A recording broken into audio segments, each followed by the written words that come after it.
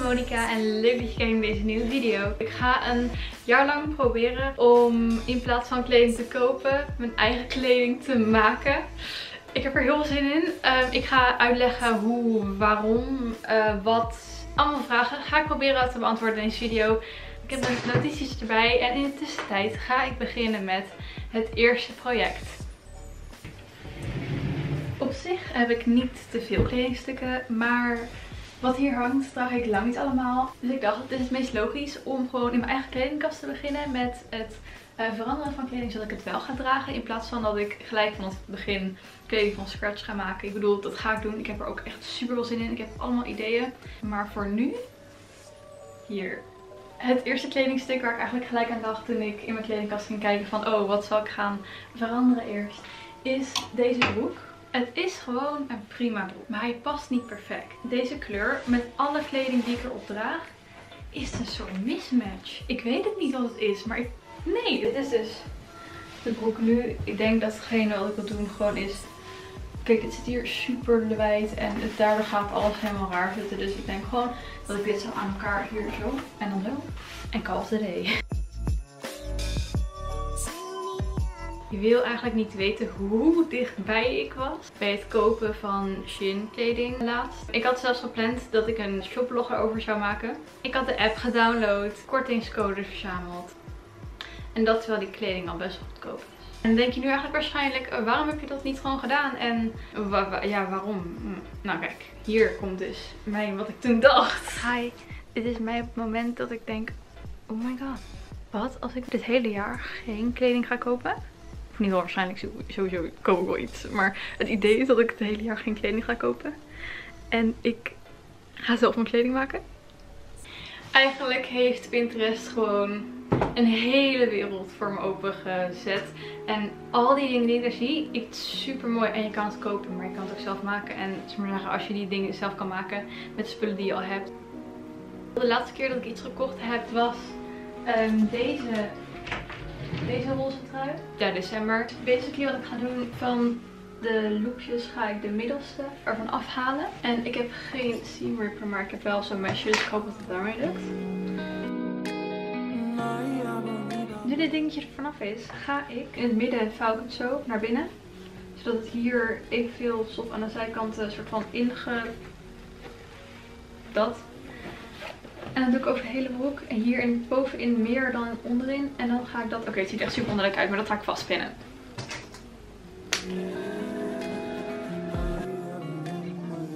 Ik struggelde heel erg om soort van dit hier uh, dubbel te vouwen. Omdat het hier heel dik is. Dus ik heb dit even losgemaakt. Daar liggen alle mooie draadjes. Uh, dus dan ga ik dit nu zo invouwen en dan um, vastpinnen.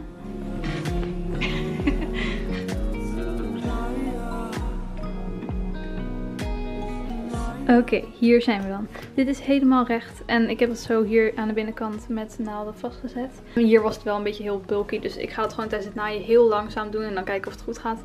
Uh, ik hoop trouwens ook echt dat de naald niet gaat breken. Daarna een top stitch. Ik wil trouwens wel heel eventjes een disclaimer doen. Het is niet zo dat als je me nu in een nieuwe broek rond ziet lopen, dat, dat ik dan aangegeven moet worden bij politie. Um, dit is gewoon iets wat ik voor mezelf ga proberen. En ik ga nu de redenen geven waarom ik het wil proberen. Dus hier gaan we. 1. Een reden. Fast fashion. Volgens mij weten we allemaal wat fast fashion is. En volgens mij weten we ook allemaal wel dat het niet het beste is wat hier op deze wereld is neergezet. Je kan heel veel kleding kopen voor maar heel weinig geld. Dat ik goedkoop kleding kan kopen gaat wel ten koste van de leefomstandigheid van andere mensen. En het milieu, dat is natuurlijk iets waar ik gewoon over nadenk. Het is niet de grootste reden. Ik bedoel, volgens mij moet ik dan echt alles wat ik hier om me heen heb gewoon dingen goed doen is moeilijk, dat soort dingen. Maar voor mij is dit kleine stapje om hier dan eventjes niet meer aan deel te nemen aan het fast fashion ding. Door dit projectje te starten. Voor dit fashion avontuur ehm, ga ik één ding mijn vriend maken. Of in ieder geval, ik hoop dat het mijn vriend wordt. En dat is... Oh my god, dat is super. Deze naaimachine. Um, ja. Oeh. Ik heb de aanleidingen heel erg gepakt. Echt maar twee seconden of zo. En ik ben nu het, dingetje, de spoel aan het... Ja.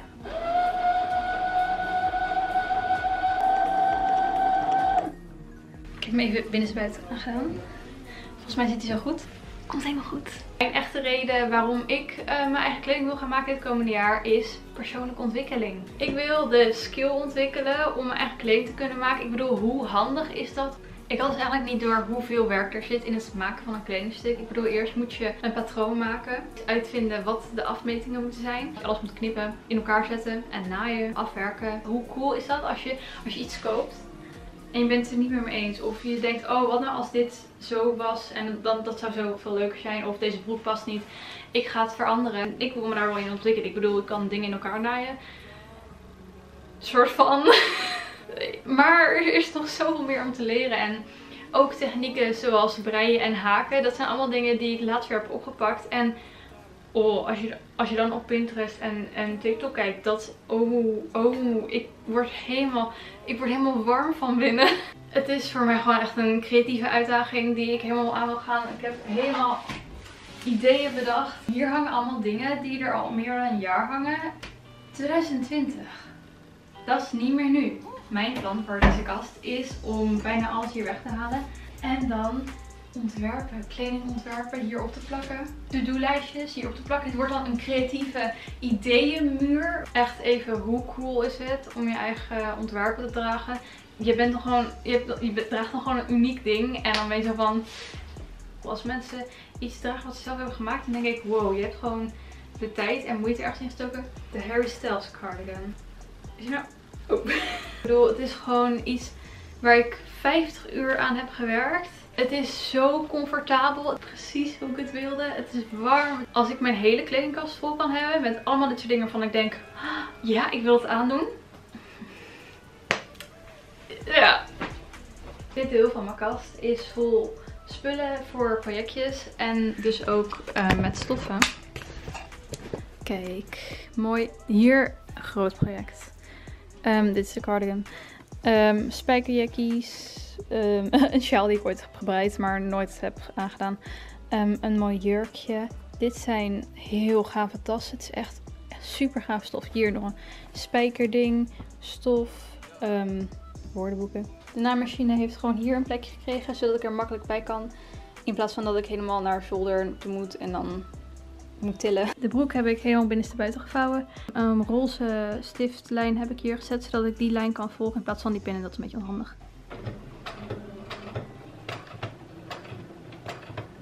Kom ik hier doorheen?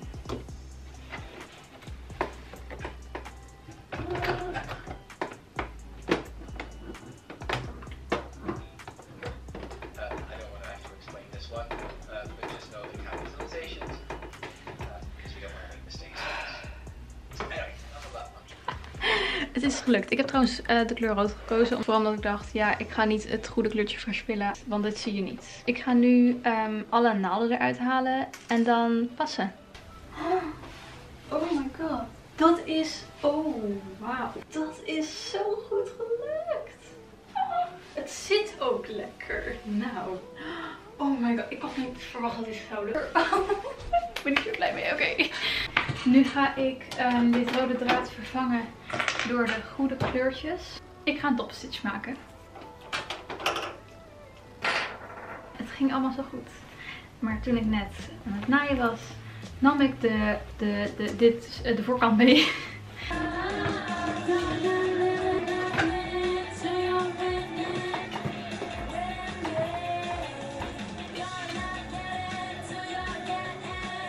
Ik ben er bijna.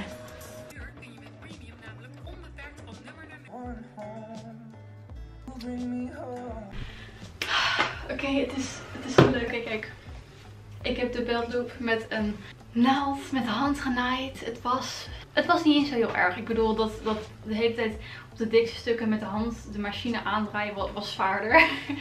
en door ik ben best wel moe. Maar goed, dit is gelukt. De broek past perfect. Op naar morgen. Of ga ik het nu al doen? Het is al een beetje donker aan het worden, maar deze broek, de kleur nog steeds na.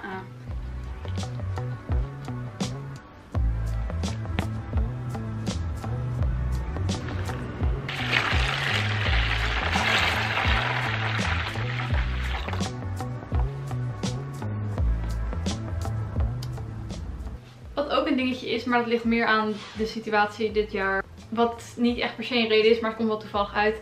Ik ben niet zo van het online shoppen. En nu moet je echt helemaal een afspraak maken. En ja, ik weet niet. Ik ga gewoon liever lekker met vriendinnen de stad in. En dan... Oh, zie daar wat... Oh, dat, is gewoon zoveel leuker dan online klikken op bestellen. En dan komt er iets binnen. En dan... Ja, op zich, het is leuk om dingen uit te pakken. Maar ja, het, naar de stad toe gaan, wat nu dus niet echt lekker kan, is toch wel het, beste. Um, dat is niet echt een reden reden, maar het is wel een reden van ik denk, ja, ik kan nu net zo goed zelf proberen. Als ik nieuwe kleding wil. Ja. Ik zie nu pas dat ik in de vorige, dat hele vorige stuk een haarclipje in mijn haar had. Die niet op die plek in mijn haar hoorde. Niks meer aan te doen.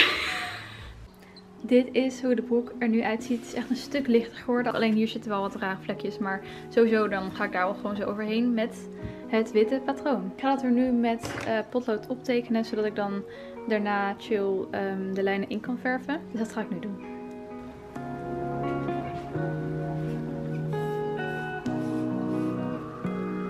Oké, ik heb nu een stukje geschetst. Ik denk eigenlijk dat ik het gewoon kan gaan verven. Ik ga het gewoon doen. Ik heb hier textielverf.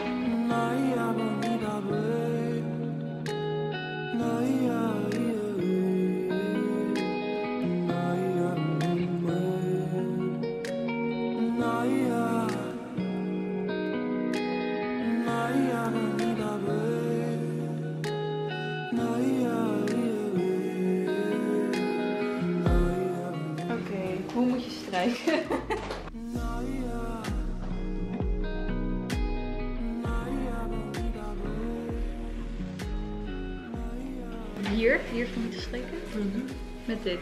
Het is wel zacht hè? Ja. Dit is dan het eindresultaat. Ik vind het trouwens wel cool dat het soort van de achterkant nog de originele stof is en dan de voorkant het patroontje. Dit is dan weer een geslaagd project.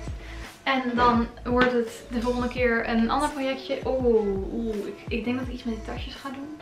Misschien iets anders, ik weet niet. Het stappenplan voor nu is al mijn moodboards eventjes organiseren, zodat ik um, weet wat ik precies wil doen.